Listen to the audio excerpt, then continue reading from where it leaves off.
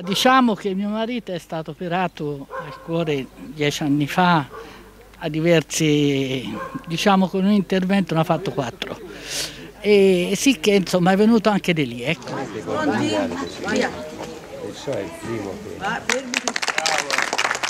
Arezzo, una città ancora di più cardioprotetta. Un altro defibrillatore è stato infatti installato nelle scorse ore nel quartiere Gattolino grazie all'impegno di tutta la comunità. È nato per scherzo perché il giorno siamo tre amici che ci troviamo tutti i giorni e le battute e ho principiato a dire ma perché non si mette il defibrillatore tra tutti e la cosa è andata avanti così.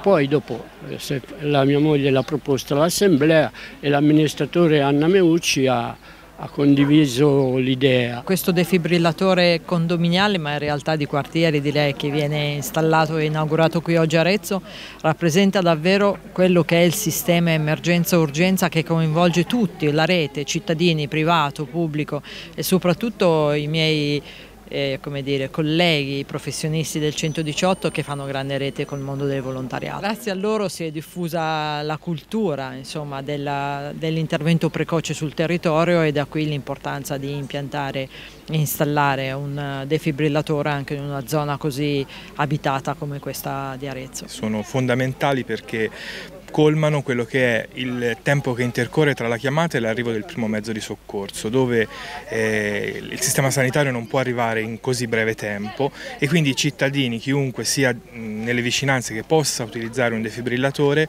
fa realmente la differenza. La formazione eh, per l'utilizzo dei defibrillatori insomma, inizia già in comunque soggetti molto giovani e chiunque può accedere a questo tipo di formazione e con un addestramento insomma, piuttosto semplice riuscire ad utilizzarlo in caso di bisogno. Ricordiamo comunque che i defibrillatori si possono utilizzare anche senza una formazione specifica guidati dal personale della, della centrale operativa ma che comunque la formazione è veramente eh, breve e semplice quindi chiunque veramente può salvare una vita utilizzando un defibrillatore.